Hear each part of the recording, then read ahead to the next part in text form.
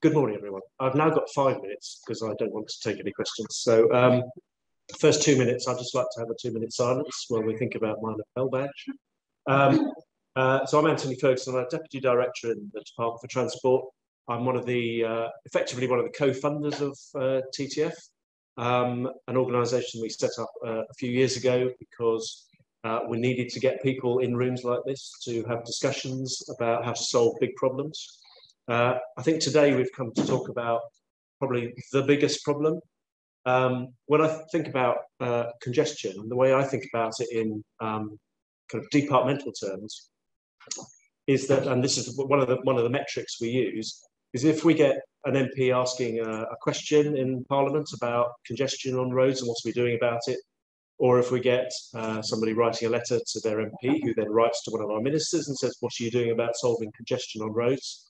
I can pretty much guarantee that about 20 people around the department put their hand up and say, oh, I'm doing something about that, but they won't want to answer the question because congestion is one of those problems that is everywhere and sort of nowhere. Nobody wants to own it because it's too difficult. Um, ministers really would love to know the answer to how do you solve a problem like congestion. Um, and the way we answer it is saying things like, well, we're encouraging more people to catch buses. So the people who do bus policy would say public transport's the answer. We have people who do who are spending billions of pounds now on promoting active travel. So they'd say, we're getting more people walking and cycling. That's the answer. We've got people who are um, electrify, electrifying the vehicle fleet. They'll say, well, we're dealing with the environmental impacts of congestion by making sure that cars and vans and buses trucks are cleaner. But that doesn't solve congestion, that just means it's cleaner. Uh, so congestion is one of these kind of all-pervasive subjects that ministers uh, fret about a lot. Uh, and we can all see what the economic impact of congestion is. Um, but if we could have been having this discussion 10, 10 years ago, 15 years ago, 20 years ago, um, one of the reasons why we keep coming round to it is because it is so so difficult to, to fix um, whether it's rural congestion or inner city congestion. So uh, one of the kind of exciting things about the last few years has been um, some of the money that's been available through GovTech and other projects to fund ideas uh, to try and find new solutions to uh, congestion. And technology is clearly one of the, the, the ways potentially that we can do something different so that highway authorities who manage the roads and people like me who use the roads have better information, better tools, better services that allow them at least to make sure that the road network we have, which isn't going to change fundamentally anytime soon, because the road space that's out there is pretty finite. What you use it for, how you use it, what decisions you make, uh, whether it's on a Monday morning or a Friday afternoon or a Sunday lunchtime, um, that, that could change. So how you do things could change.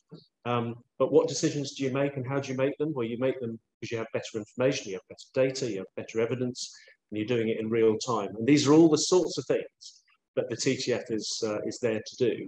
So uh, I'm really glad that we're here today. Um, the last time we, we gathered was just before the kind of the lockdown started.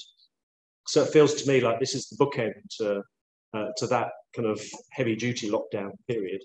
Uh, so, and I think the fact that we're all, there's so many of us here today, and we've got so many um, exciting projects to hear about, is a real sign of progress. You know, we haven't been in lockdown, sitting on our hands doing nothing. Quite the opposite. We've been really, really busy. You've all been really, really busy. So I think this is a great way to kind of kickstart kind of TTF, the next chapter, uh, dealing, as I say, with what is undoubtedly the trickiest uh, but most important question we've got to solve. And if Trudy Harrison, our, our new technology minister, was here, I'm sure she'd be saying similar things. She'd be pointing out that as a woman, she's looking out at the audience feeling slightly different about the audience. But um, when you meet her, I hope you'll find that she's A, super enthusiastic about this, uh, B, very engaging. Uh, so she is somebody that we can work with, we can make real progress with. So um, before too long, we're going to talk about TTF with her. We're going to explain who you all are and what we all do.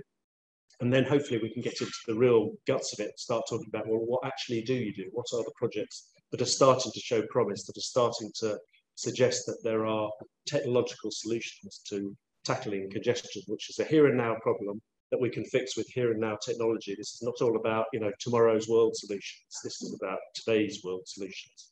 So I'm looking forward to making lots of notes, learning a lot, um, and hearing some fantastic presentations. So thank you very much and have a good day.